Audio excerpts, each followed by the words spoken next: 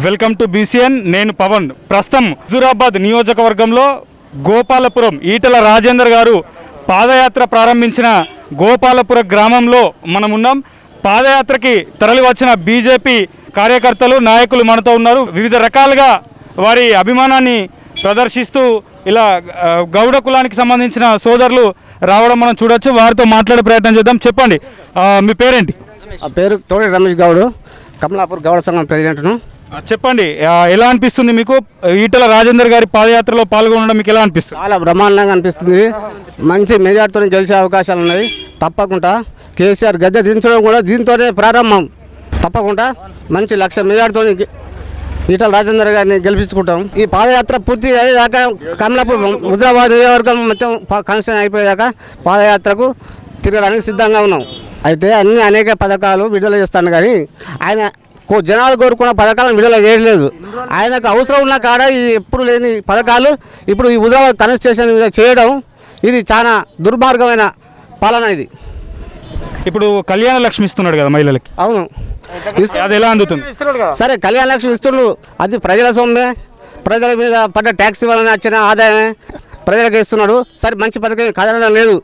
కానీ మా రాజేంద్ర గారి మీద చేసిన అభాండం మాత్రం చాలా దుర్మార్గమైన ఇది భూ కబ్జాను పెట్టి అనవసరమైన ఆరోపణ చేసి ఈయన బయటికి నెట్టడం కేసీఆర్కు చాలా నష్టం గద్దె దిగడం ఖాయం. ఈటల రాజేందర్ గారు ఎంత మెజార్టీతో గెలిచే అవకాశాలు ఉన్నాయి నియోజకవర్గంలో? తప్పకుండా లక్ష మెజార్టీతో గెలుస్తాడు. లక్ష మెజార్టీతో గెలుస్తాడు. ఇక్కడ మరొక గౌడ సోదరులను మాట్లాడే ప్రయత్నం చేద్దాం. చెప్పండి సార్ ఈటల రాజేందర్ గారికి ఏ రకంగా మద్దతు ఇవ్వబోతా ఉన్నారు? ఈటల రాజేంద్ర అంటే ఆయన ఒక మంచి బీసీ సభ్యుడు.